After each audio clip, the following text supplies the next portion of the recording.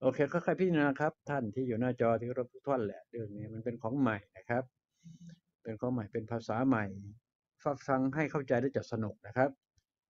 ถ้าฟังถึงแม้ว่า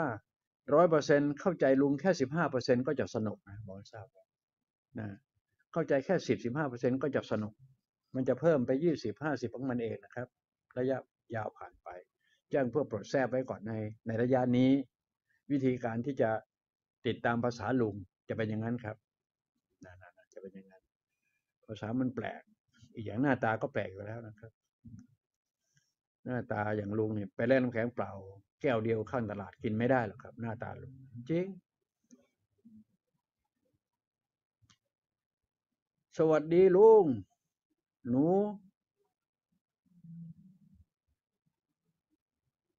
เวลานอน หนูชอบฝันร้ายอ้าว ฝันร้ายเลยฟังฝันร้ายนะครับ ฟังนะ คุณโซ่ คุณโซก็แล้วกันนะ ฟังให้ดีนะ ฝันร้าย หนูชอบฝันร้ายนะ โบราณบอกว่า ฝันร้ายจะกลายเป็นดี อธิบาย ฟังใหม่ครับ หนูชอบฝันร้ายค่ะ โบราณเขาบอกว่า ฝันร้ายจะกลายเป็นดี งั้นลุงต้องอธิบาย ความอธิบายคือตรงนี้ความฝันมาจากอะไร ความฝันมาจากการบันทึกของหัวเรา สมองเรา ความฝันมันมันมาจากสมองที่เราบันทึกเอาไว้ตั้งแต่เริ่มเกิดมาแอมาถึงในทานี้ นาทีนี้ครับ ดีไม่ดี ถ้าคิดล่วงหน้า เช่น ข้างหน้านะจะเป็นนายกอบจอย่างเงี้ย คิดล่วงหน้าแล้ว คิดล่วงหน้ามาสักห้าวันแล้วคิดล่วงหน้ามาเป็นเดือนแล้ว นะ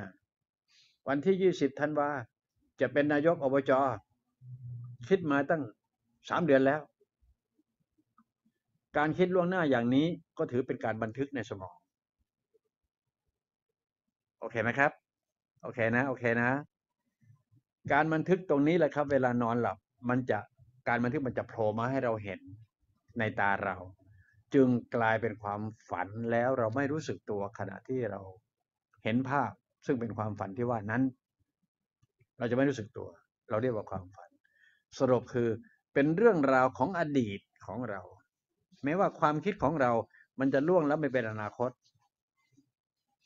ความคิดมันไปถึงอนาคตพรุ่งนี้มะรืนนี้ปีนี้ปีหน้าห้าปีข้างหน้า ความคิดเป็นอนาคตจริง แต่ความเป็นจริงยังอยู่ในขณะนี้อยู่นะความคิดเป็นอนาคต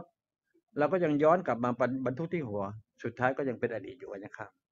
ำไม่งงนะ ไม่งงนะ อดีตเป็นได้ อนาคตเป็นได้ ความคิดเป็นได้ทั้งสองอย่าง